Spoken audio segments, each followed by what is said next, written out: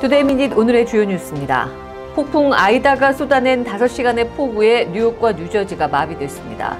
1일 밤 무려 9인치의 비가 내린 걸로 보고되고 있는 가운데 이번 비로 뉴욕시에서 13명, 뉴저지에서 23명이 사망했습니다. 미국에서 코로나19에 대한 면역을 가진 인구가 80%가 넘는다는 연구 결과가 나왔습니다. 약 140만 개 샘플을 조사한 결과로 미국의 백신 접종률보다 높습니다. 텍사스주에서 강간 등을 포함한 어떤 경우라도 사실상 낙태를 금지하는 새 낙태 제한법이 1일부터 시행에 들어갔습니다. 조 바이든 대통령은 텍사스의 법이 헌법상 권리를 침해했다며 낙태권을 보호하겠다고 밝혔습니다.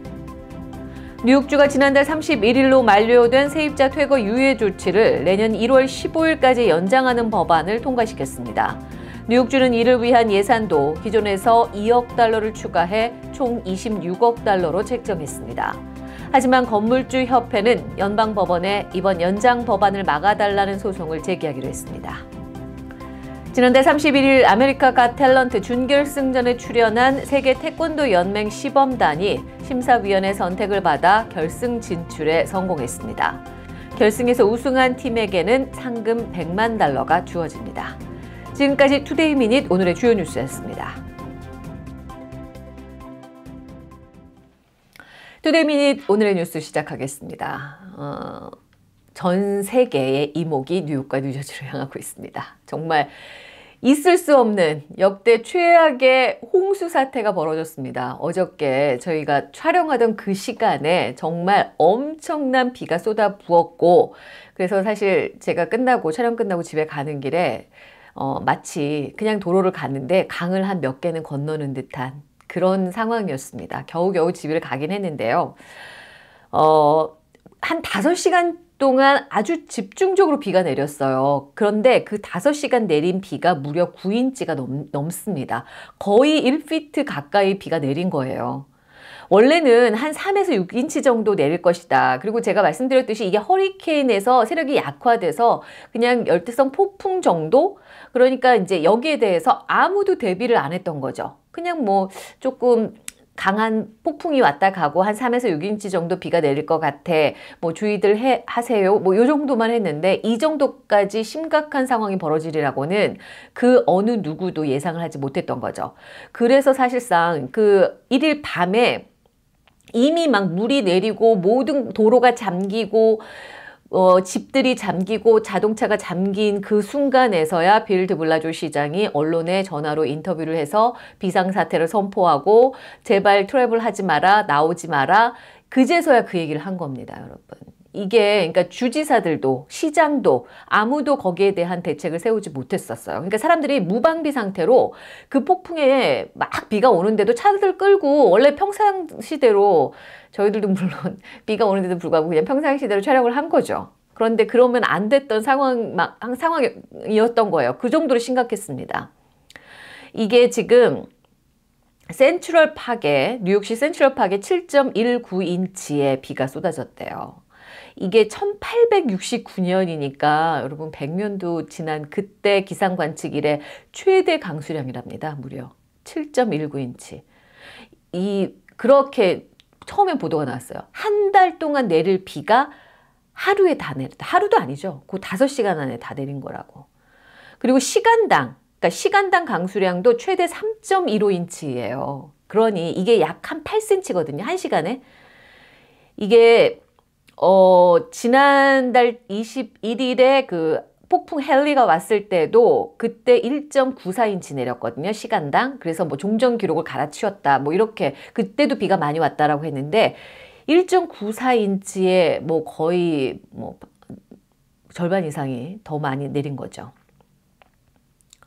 어, CNN 방송이 이날 밤에 뉴욕시 일대에 쏟아진 비가 350억 갤런으로 추정된다는 얘기하면서 뭐라 그랬냐면 올림픽 규격 수영장 5만 개를 채울 수 있을 정도였다. 그러니까 얼마나 많은 물이 뉴욕, 뉴저지 이런 데에 채워졌는지 아시죠?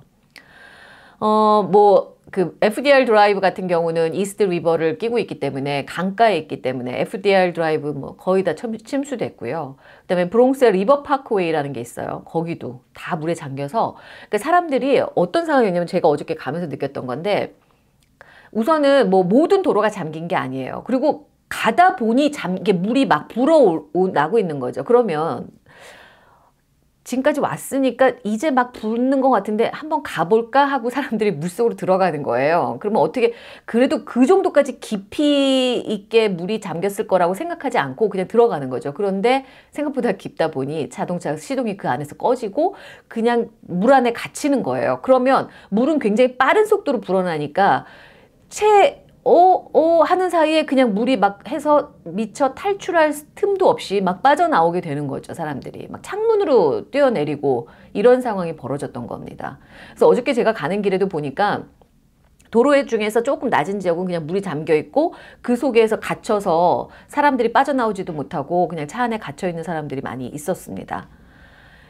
어, 이걸로 인해서 뉴욕시 전철 46곳이 침수가 됐고요. 당연히 선로로 그 도로가 그 정도로 뭐 강 수준으로 제가 어저께 나갈 때 거의 무릎 가까이까지 물이 오르는 걸 봐서는 그 맨하탄 또 시내에 워낙 또 물 잘 안 빠지거든요. 거기 맨하탄 시내에도 물이 그 정도까지 차였을 거고 당연히 지하철 안으로 들어갔겠죠. 그래서 46곳에 어, 역에 침수가 피해가 발생했고요. 어, 그리고 15대에서 20대 정도도 이미 잠겼겠죠. 전철들이 밤새 구조 작업이 펼쳐졌다고 합니다. 승객들이 가다가 그냥 쓴 거예요. 그 구조 작업이 펼쳐졌고 그리고 어 타임스 스퀘어 역에서는 심지어 이게 한 밤 9시 45분경에 승객들이 이 폭우 때문에 밖에 나가지도 못하고 그냥 지하철 역 안에서 밤을 새웠다라고 합니다. 그러니까 너무 비가 많이 오니까. 그 뉴스에 나온 것 중에 또 뭐가 있냐면 버스. 맨하탄에 다니는 버스가 그 그것도 물속에 잠기면서 시동이 꺼진 거죠. 근데 버스 위로 근데 이 기사는 밖으로 나가지도 못해요. 그러니까 버스 위로 막 물이 차오르는 거예요. 그러니까 버스 기사가 막 그 의자 위에 올라가서 구조를 기다리고 이런 모습들도 있었습니다. 비가 얼마나 많이 왔는지 아시겠죠. 그 도로가 그렇게까지 잠기니까 뉴저지 같은 경우 뭐 뉴욕도 마찬가지지만 이렇게 house들이 1층 그다음에 이제 여기는 basement라고 해서 지하가 있잖아요. 그 지하로 그다음에 garage 그 차고로 물들이 다 들어온 거예요. 그러니 그 보통 베이스먼트나 이런 거라지에 뭐 히팅하는 게 있고 전기 관련한 것들이 있으니까 정전이 되고 이런 사태가 벌어진 겁니다. 그러니까 아파트 같은 큰 건물도 지하로 물이 들어가면서 지하에 있는 모든 전기 시스템들이 고장이 나고 이런 정전이 발생하기도 하고 지금 그런 상황입니다. 어, 뉴욕은 그런데 이제 다음 날은 정말 아침에는 너무 얄밉게요. 해가 반짝하는 거예요. 그 5시간 반짝 비가 쏟아지고 폭풍이 빠져나갔는데 어, 그, 이제, 그래서 이제 날이 밝고 또 날씨도 굉장히 선선했어요. 이날. 그래서 다음 날. 그래서 2일에 굉장히 선선한 날씨에 해도 반짝했기 때문에 이제 복구가 빠르게 이루어졌고 물들도 이제 다 빠져나갔습니다. 그 빠져나간 자리가 진짜 처참하죠. 쓰레기부터 시작해서 온갖 차들이 그 도로가에 이렇게 뒤엉켜 있어요. 그러니까 어젯밤에 물에 잠겨가지고 그대로 버려두고 간 거죠. 그리고 그 차들이 여전히 서 있고 그 차들을 다 빼는데 아마 며칠 걸릴 것 같아요. 특히나 이번 주말이 Labor Day 연휴예요. 이게 목요일에 저희가 촬영하고 있는데 목요일부터 이 연휴 맞아서 사람들이 벌써 엄청나게 이동을 하고 있습니다. 도로가 엄청 밀리고 있는데 그런데 연휴가 껴있다 보니 과연 복구가 빨리 될까라는 생각 들고 도로에는 그대로 좀 어느 정도 시간 동안은 방치가 돼 있을 것 같습니다. 차량들이. 그리고 전철 같은 경우는 물이 빠지면서 이제 복구가 됐어요. 그러니까 뉴욕시 전철은 복구가 돼서 운행이 시작됐고요. 2일 오후 현재 그리고 2일 오후 현재 뉴저지 Transit 그러니까 뉴저지의 열차라든가 이런 운행은 아직은 복구가 안 됐습니다. 아직도 어, 중단 상태고 지금 그렇습니다. 어, 이번 홍수 그러니까 갑 갑자기 생긴 그 불어난 그래서 flash flood, flood라고 하잖아요. 이걸로 인해서 그러니까 사람들이 미처 대피할 틈이 없었던 거예요. 너무 갑자기 불어났기 때문에 많은 양이 그래서 무려 뉴욕시에서만 13명이 사망했고 뉴저지 주에서는 23명이 사망한 걸로 보고가 됐습니다. 어, 뉴욕시는 특히나 이 사망자 대다수가 아파트 지하에 살던 저소득층 주민들이었어요. 한 이 13명 중 8명이 이런 지하에서 사망을 했는데 특히 이제 퀸즈 한인들이 많이 거주하고 있는 곳에 어, 두 살 아기와 그 부모가 아파트 지하에서 살다가 숨을 숨진 채로 발견되는 아주 안타까운 사고, 사건이 있었습니다. 아기가 어, 에이시언인, 에이시언이더라고요. 코리아는 아니었는데 어, 어쨌든 어, 그 아이, 아이의 사진과 부모의 사진들이 공개가 됐는데 정말 안타까웠습니다. 그러니까 보통은 이게 이제 뉴욕시 같은 경우는 좀 불법 개조죠. 사실 그런 지하에서 살 수 없거든요. 그런데 이제 불법 개조해서 뭐 싼 가격에 이렇게 살기도 하고 하는데 그런 곳에서 미처 빠져나올 틈 없이 그냥 물에 빠져서 그냥 사망을 한 것 같습니다. 그리고 어, 86세 할머니도 아파트 그 지하에 거주하다가 그 사망을 하는 사건들도 있었고요. 뉴저지 같은 경우는 이제 토네이도 경보가 제가 어제도 뉴스 시간에 전해드렸지만 토네이도 경보가 발령이 됐다고 했잖아요. 지금 하룻밤 사이에 공식적으로 그 국립 어, 그 기상센터에서 발표한 건 세개예요 근데 이제 뉴스 언론 보도에서는 또 네개까지도 보고가 됐다. 이렇게 얘기가 나오고 있어요. 근데 주로 이제 토네이도는 뉴저지 서부, 그러니까 펜실베니아하고 접경 그 부분에서 보통 많이 펜실 그 어, 뭐지 토네이도가 발생이 하는데 그 이유가 뉴저지 서부로 가면 굉장히 이렇게 벌판이죠. 거기는 이제 동부 쪽으로 뉴저지도 이렇게 사람들이 많이 몰려 살고 있고 그 서부로 가면은 이제 그 에팔레치아 산맥을 넘어가는 그 무렵 그 입구기 때문에 좀 사람들이 많이 살지 않고 좀 넓은 그런 지역들이 있어서 아마 토네이도가 많이 발생하는 것 같습니다. 뉴욕과 뉴저지 그리고 펜실베니아도 이번에 많은 피해가 있었다고 해요. 그래서 총 이 세 개 주에서 20만 가구 정전 사태를 겪었다. 그리고 이재민들도 적지 않다. 집에 집이 침수가 돼서 그러니까 뭐 집들이 베이스먼트나 뭐 그런 1층 정도 잠기면 뭐 물 그래서 오늘 하루 종일 물들 퍼내시고 뭐 양수기로 물 퍼내는 일들이 하루 종일 뭐 그리고 이제 그 젖은 가구들 다 밖으로 꺼내서 말리고 이런 일들이 있었는데 이 정도는 괜찮아요. 근데 정말 사진에서 보면 영상으로도 많이 나왔는데요. 정말 많이 침수가 된 곳은 반 이상이 찼어요. 그러니까 뭐 가장 많이 나오는 게 어느 체이스 은행인가 은행 건물이 거의 반 이상이 차서 거의 보이지가 않던데 뭐 운동장 같은 것도 거의 다 차고요. 이런 이재민들도 그래서 나오는 상황입니다.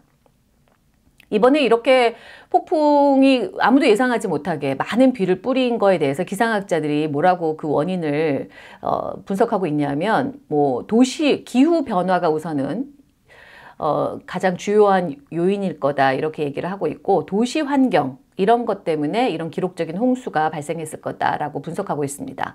기후변화로 따뜻한 공기가 유입되면서 더 많은 비를 머금었고 넓은 포장도로로 인해서 물이 땅으로 스며들지 못하면서 홍수가 발생했다라는 거죠. 정말 여기는 그 물이 잘 빠져나가질 않아요. 뉴욕, 뉴저지 지역은 조금 갑자기 소나기 같은 거 굉장히 많이 순간적으로 비가 왔을 때 정말 도로에 물이 막 이렇게 넘치는 거 많이 볼 수 있거든요. 그래서 아마 포장 도로라는 것도 어느 정도 이해가 되고 그 다음에 그동안 사실 뉴욕 뉴저지 일원이 이 폭풍이 오기 전에 굉장히 습했어요. 계속 습하고 덥고 이런 날씨가 있었는데 아마 그런 날씨와 만나면서 이렇게 비가 많이 내린 것 같습니다. 뭐 밤새 이제 주지사들 어, 호컬 주지사, 머피 주지사 뭐 비상사태 선포했지만 정말 too late이죠. 너무 늦은 거고 그래서 너무나 많은 사람들이 밤새 공포에 떨었다. 그리고 뭐 소셜 미디어나 그 SNS 페이스북에 이렇게 그 지역 그 페이스북에 보면 올라오는 사진들 보면 사람들이 정말 순간적으로 이렇게 가다가 어, 물이 너무 많았는데 한번 가볼까 해서 가서 제가 그 시동이 꺼지면서 그 물속에 간, 이렇게 갇혔다고 그랬잖아요. 그런데 갇히자 갑자기 물이 너무 빠르게 불어난 거예요. 그러니까 물이 거의 차 위까지 이렇게 올라올 정도로 미처 빠져나오지도 못했는데 그래서 창문을 열고 빠져나오자마자 그 차가 완전히 물속으로 사라지는 그런 모습도 있었습니다. 이게 어디 강에서 벌어진 게 아니고요. 우리가 평소에 다니던 그 도로에서 벌어진 상황이에요. 그러니까 그 정도로 심각한 홍수가 뉴욕, 뉴저지 일원에 1일 밤새 있었다라는 소식 전해드렸습니다. 다음 소식은 코로나 바이러스 얘기를 좀 해볼게요. 그 미국에서요 질병통 질병통제 예방센터가 최근에 한 연구팀을 데리고 조사한 연구 결과를 보고했는데 어떤 거냐면 미국에서 과연 코로나19에 대한 면역을 가진 인구는 얼마나 될까? 그러니까 결국 말하자면 코로나19 바이러스에 대한 항체를 가진 인구는 얼마나 될까 이런 걸 조사한 거예요. 어떻게 조사를 했냐면 그 헌혈한 혈액을 대상으로 했어요. 그래서 무려 한 140만 개 샘플을 조사했으니까 상당히 많죠. 이것도 그냥 뭐 일정한 어떤 지역이 아니라 미국 전체 50개 주, 워싱턴 DC, 뭐 푸에르토리코까지 해서 그 전체에서 혈액 그 헌혈한 혈액 샘플 140만 개를 대상으로 조사를 한 거예요. 그런데 어, 미국의 항체를 가진 인구가 얼마나 될 거라고 생각하세요, 여러분? 굉장히 많습니다. 생각보다. 확진자가 많아서 그런지 몰라도 세계, 확진자가 세계 1위잖아요, 미국이. 어, 그 조사 결과에 따르면 그 항체를 가진 인구가 지금 현재 올해 5월 기준입니다. 올해 5월 기준 83.3%입니다. 거의 다죠.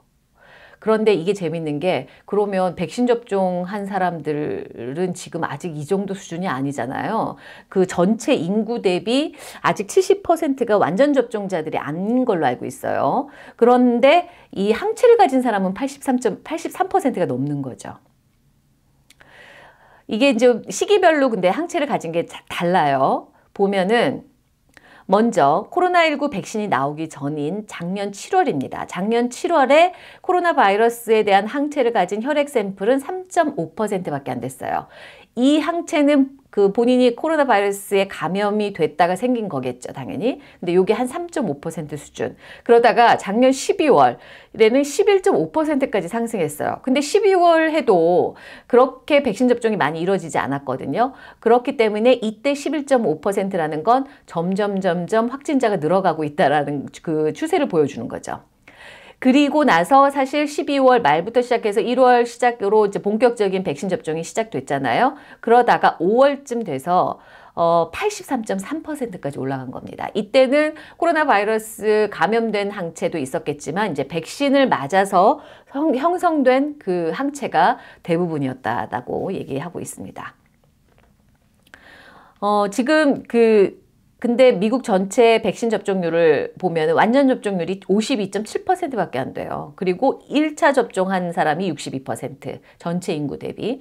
그렇기 때문에 83.3%라는 건 엄청나죠. 왜 이렇게 나왔을까요? 어, 그 혈액 조사 결과 작년 7월에 실제 코로나19 감염자 3명 중 1명만 집계가 이루어지고 있는 것으로 추정이 됐어요.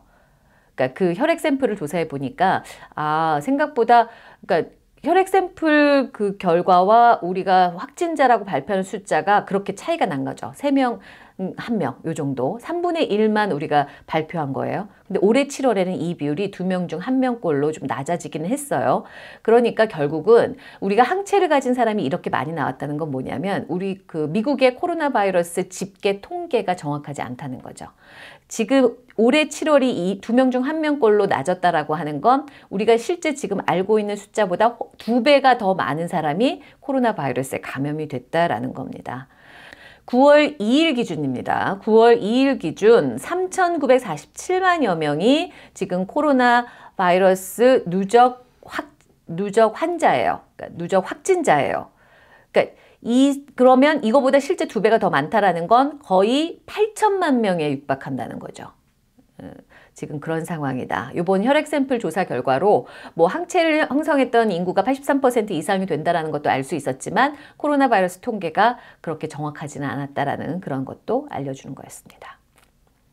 이번에는 좀 텍사스주 얘기를 해볼게요. 오늘 그 사실은 뉴욕, 뉴저지 이런 홍수 관련해서 뉴스들이 대부분을 차지했지만 이 텍사스주에서 새롭게 시행된 낙태법 관련한 뉴스들도 상당히 사람들 관심을 많이 받았습니다. 특히나 이제 바이든 대통령을 비롯해서 연방 정부 차원에서도 여기에 대한 비판이 굉장히 많았거든요. 이 텍사스주에서 어, 시행에 들어간 이 낙태, 새 낙태 제한법이 이게 어떤 거냐면 일명 심장 박 낙동법이라고 이름을 붙였습니다. 그래서 이게 원래 텍사스주에서 낙태 금지 시기가 원래 20주였어요. 그러면 5개월, 아기 5개월 어, 이후부터는 낙태를 못하게끔 금지를 했던 거죠. 그런데 이거를 어떻게 바꿨느냐. 심장 박동이 감지되는 시기 부터 아예 낙태를 못한다라고 못을 박은 겁니다. 이게 9월 1일부터 시행에 들어갔어요. 그러면 심장 박동이 감지되는 시기는 언제냐? 보통 한 임신 6주 정도 되면은 심장 박동이 감지가 되거든요. 근데 문제는 뭐냐면 대부분의 여성들이 임신 6주 차에 자신이 임신했다는 걸 알기가 쉽지가 않아요.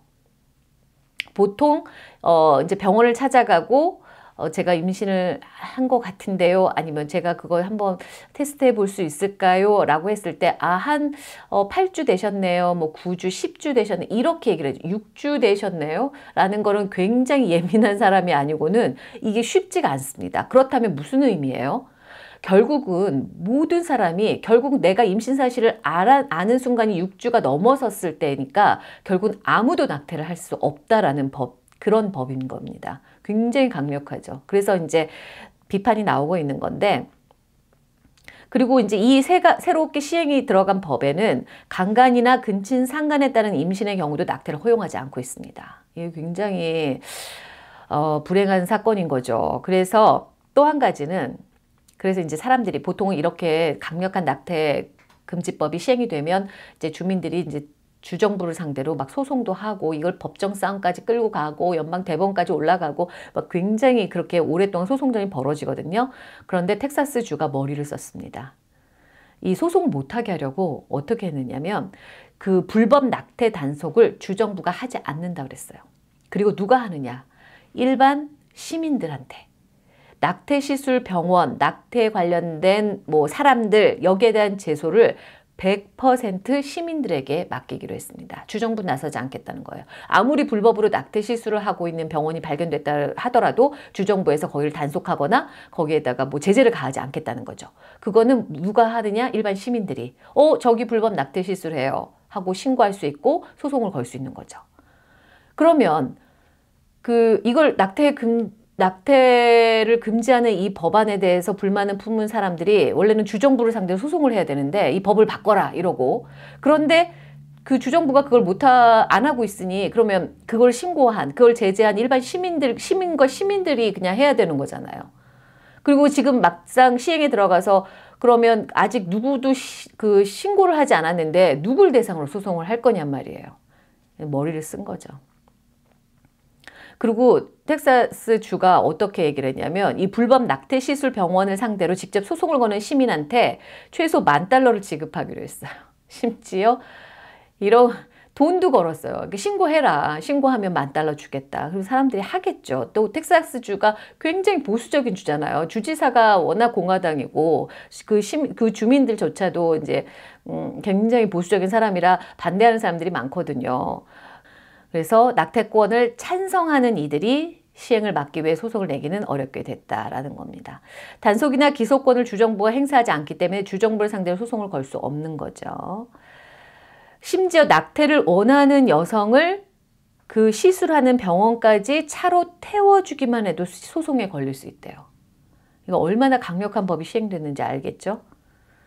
그러다 미국 시민자유연합, 생식권리센터 이런 낙태권을 옹호하는 단체들이 연방 대법원에 텍사스주의 낙태 제한법 시행을 막아달라라는 가처분을 신청했지만 어, 이날 대법원에서 기각이 됐어요. 그래서 원래 예정됐던 9월 1일부터 시행이 들어간 겁니다. 어, 이 대법원에서는 대법원 그 법관들도 트럼프 대통령이 다 보수적인 사람들로 많이 바꿔놔가지고 그 아홉 명의 대법관 중 다섯 명이 이 가처분 신청 기각에 손을 들어준 거예요. 그리고 다섯 명이 다 보수적인 그 대법관이죠. 그래서 근데 이, 날 결정은 텍사스 낙태 제한법의 합헌성에 관한 게 아니다. 이게 합법하다라는 거를 한게 아니라 텍사스주 법원 등에서는 다른 정식 소송 절차는 진행할 수 있다라고 명시는 했습니다. 그러니까 텍사스 주 안에서 서로 소송해라라는 얘기죠. 그리고 조 바든 대통령도 텍사스 법이 헌법상 권리를 침해했다며 낙태권을 보호하겠다 이렇게 바뀌었습니다. 성명에서 텍사스의 이 지나친 법은 주제 넘게도 로 대 웨이드 판결로 확립된 헌법상 권리를 침해하며 시민이 낙태를 도운 것으로 여겨지는 이에게 소송을 하도록 하고 있다.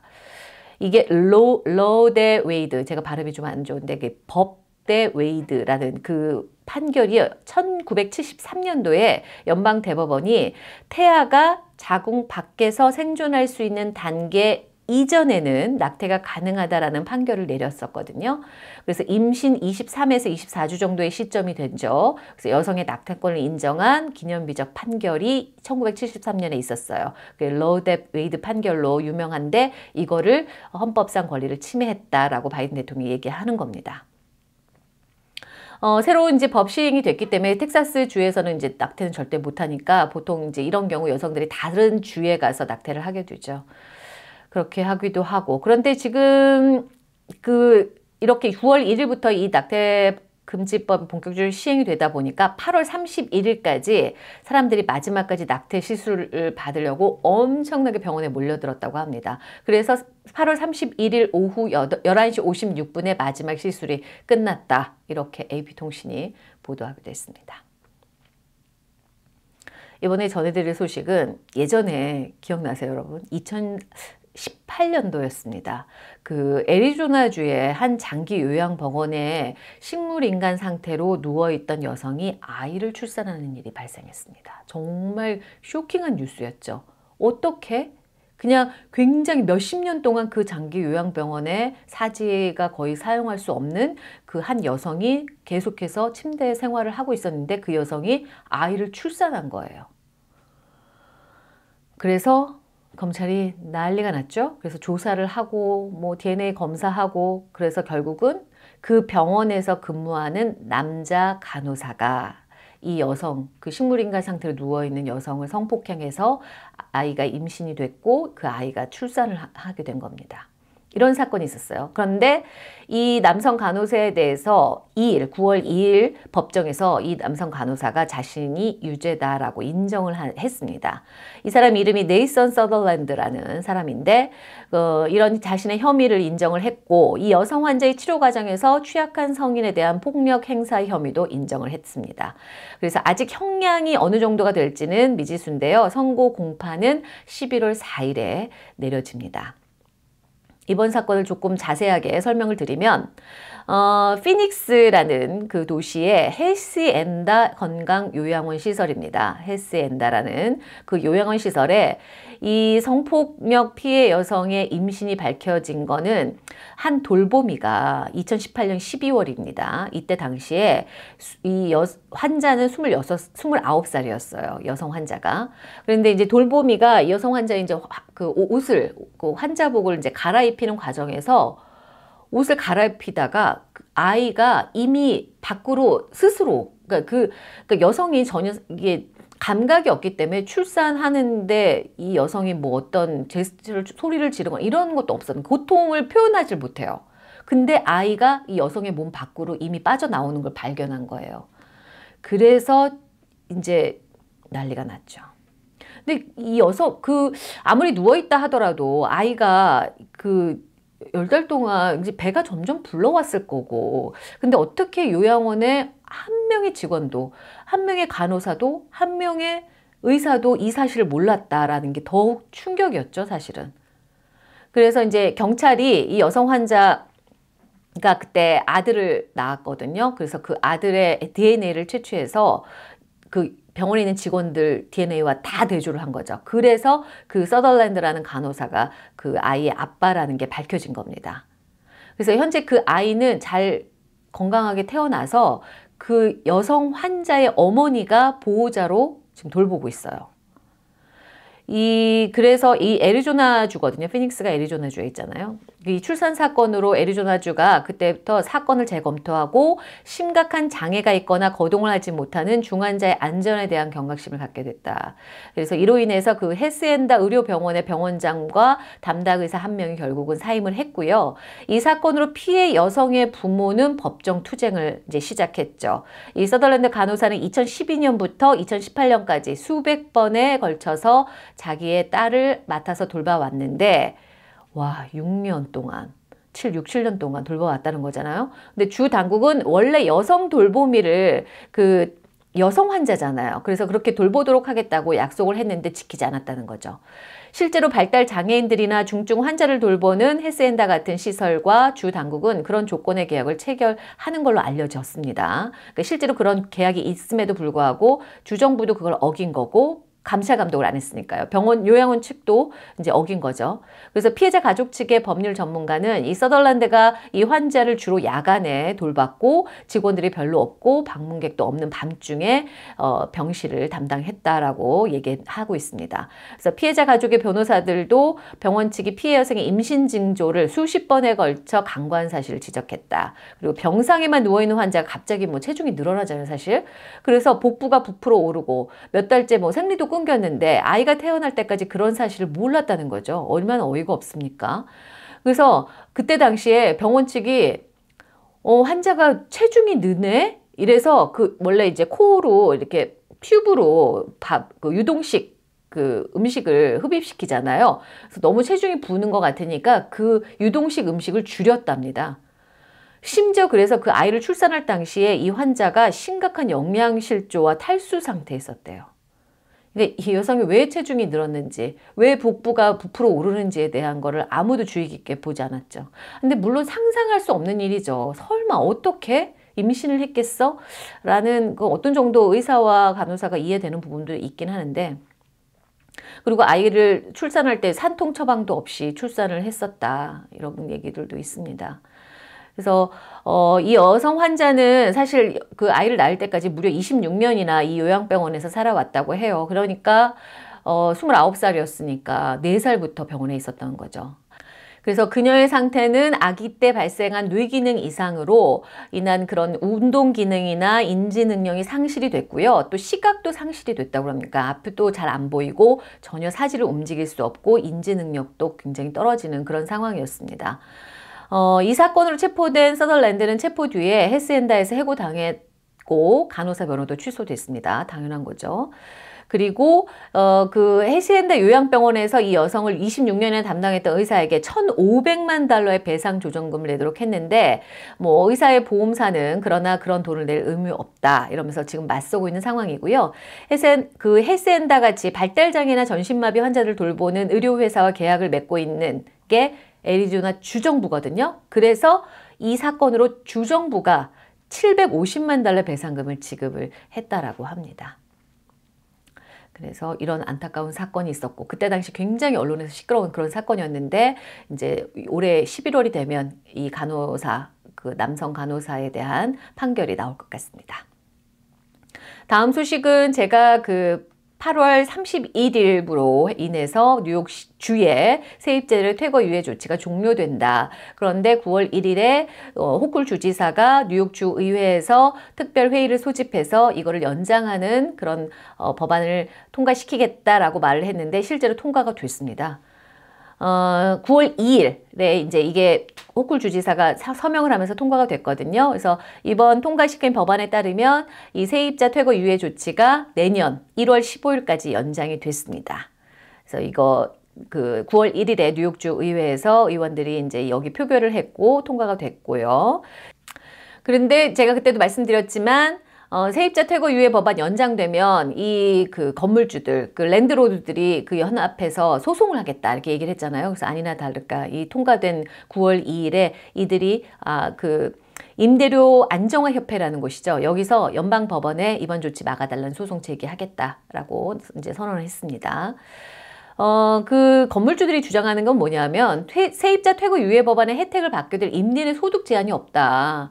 그리고 임, 그냥 코로나 바이러스로 인해서 재정적인 어려움을 겪고 있다면 누구나 신청할 수 있거든요. 그리고 임대인들이 재정적으로 어려움을 겪지 않았다는 걸 증명하는 게 집주인한테 달려요. 집주인이 아니 얘는 그 코로나 바이러스로 인해서 그 재정적인 위험이 없어. 어려움이 없어. 그러면 그거를 주, 집주인이 증명해야 돼요. 세입자는 내가 그 어려움이 있어만 증명하면 되거든요. 근데 그거를 없다라는 걸 집주인이 증명하는 게 오, 불가능하다는 거죠. 그래서 여기서 이제 비난하는 거예요. 사실상 뉴욕 주의회에서는 이제 몇 달 전에 20만 가구의 임대료 연체금을 지원하기 위해서 24억 달러 예산을 승인했거든요.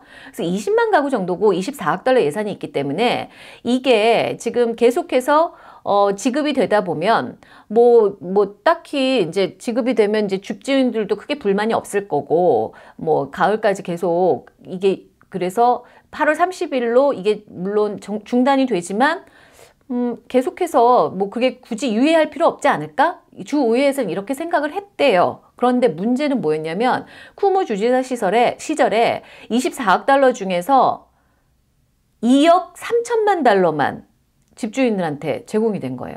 이게 얼마 안 돼. 24억 중에 2억 3천만이면 한 22억은 아직도 뉴욕 주정부가 갖고 있다는 얘기잖아요. 그것도 15,000, 원래 20만 가구에 지급하기로 했는데 15,000 가구밖에 안 됐던 거예요. 이게 빨리빨리 행정 절차가 집행이 안 됐던 거죠. 그래서 호쿨 주지사가 이 나머지 돈에 대해서 빨리빨리 지급될 수 있도록, 그러니까 이제 그 랜드로드들 달래게 나선 거죠. 빨리 해서 돈 다 나눠줄게. 이렇게 얘기를 한 겁니다. 그리고 이번 법안 통과시키면서 원래 24억 달러였는데 2억 더 추가해서 26억 달러로 총 예산을 좀 늘렸고요. 그리고 어, 통과된 이번에 통과된 법안에 의하면 소득 기준을 초과한 세입자 있잖아요. 그래서 임, 그런 세입자들에게도 좀 지원을 하기로 했고 그다음에 우리 집은 landlord 중에 나는 이게 우리 집이 안 나가. 세입자가 안 들어와서 이게 맨날 비어 있어서 내가 제대로 못 이게 그 돈을 받을 수가 없어. 이런 건물주를 위한 임대 지원도 한다고 합니다. 그리고 2,500만 달러 정도를 책정했는데 이거는 무엇을 위해서느냐. 퇴거 절차에서 변호사를 선임할 수 없는 세입자들에게 법률 고문 비용을 지원하는 데 사용하게 된답니다. 그래서 이렇게 뉴욕주는 어쨌든 1월 15일까지 연장이 됐으니까 어, 뭐 아직까지 못하신 분들은 얼른 신청하시기 바랍니다. 마지막으로 전해드릴 소식은 세계 태권도 연맹 시범단이 그 American Got Talent라는 거 있죠. 아주 유명한 오디션 프로그램 아닙니까? 여기 그 지난 8월 31일에 준결승전이 있었어요. 여기에서 잘해서 결승에 올랐습니다. 그 원래 준결승 결과 먼저 시청자 투표에서 상위 3개 팀이 상위, 그러니까 시청자 투표에서 상위 3개 팀이 결승에 오르고요. 그 다음에 그날 현장에서 실시간 투표로 뽑은 한 개 팀이 올라요. 그리고 마지막으로 심사위원회 선택을 받은 사람이 결승에 진출. 요렇게 어, 3개, 4개, 5개 팀이 오르는 거죠. 그런데 이 세계 태권도 연맹은 심사위원 선택을 받아서 결승에 진출했습니다. 어, 8월 31일에 아카데미 시상식이 열리는 장소죠. 돌비극장에서 이 중결승 11개 팀이 이제 중결승을 벌였고요. 그리고 여섯 번째로 이제 출전을 했는데 공연을 보여주기 바로 직전에 요르단의 시리아 난민 캠프에서 어린이들이 태권도를 수련하면서 활력을 찾는 영상이 우선 미국 전역에 방영이 된 겁니다. 그 영상을 쫙 보여준 다음에 어, 뭐라고 했냐면 태권도는 격투기에 그치지 않고 이렇게 평화와 희망을 전달하는 스포츠로서 전쟁과 재해로 어려움을 겪는 많은 젊은이에게 태권도를 통해 꿈과 희망을 주기 위해 이 자리에 섰다. 이런 나레이션과 함께 시범 단원이 공연이 시작이 된 겁니다. 그래서 뭐 아시겠지만 태권도 공연 너무 유명하죠. 영상을 뭐 보여드릴 텐데 어, 그런 고, 어, 공연을 해서 정말 4명의 심사위원이 오늘 공연 중 최고의 공연이었다 이러면서 극찬을 했고요. 그 세계적인 모델이죠. 하이디 클룸은 관객과 많은 시청자가 태권도를 배우고자 한다. 연맹 시범단이야말로 진정한 액션 히어로다. 이렇게 심서평을 전했습니다. 그래서 심사위원들을 감동하게 만들었던 것 같아요. 제가 보기엔 앞에 영상을 틀어준 게 좀 그런 효과를 극대화시킨 게 아닌가 싶은데 그래서 심사위원 그 추천으로 결승에 오르게 된 거죠. 그래서 다음 주에 이제 두 번째 준결승전이 열리나 봐요. 그래서 지금 이번에 열린 게 첫 번째 준결승전, 여기서 다섯 팀. 네, 두 번째 준결승에서 다섯 팀. 그래서 총 10개 팀이 어, 9월 15일에 결승전에 이제 나간다고 합니다. 그래서 여기 결승전에서 딱 한 팀, 우승한 팀에게 상금이 얼마인 줄 아세요? 100만 달러입니다. 복권 맞은 거랑 비슷해요. 이 연맹 그 태권도 연맹 시범단은 지난해 1월에는 이탈리아 Got Talent에 출연해서 golden buzzer를 받으면서 결선에 진출했기도 했었고요. 굉장히 유명하죠. 그래서 이 해당 영상을 본 America Got Talent 측이 제발 출연해달라 우리한테 그래서 계속해서 요청을 해서 그래서 올해 봄에 오디션에 참가해서 결국은 결승까지 오르게 된 겁니다. 9월 15일 결승 결과 한번 지켜보시면 좋을 것 같습니다. 오늘 Today Minute 뉴스는 여기서 마치겠습니다. 구독, 좋아요, 알림 설정 부탁드릴게요. 감사합니다. Música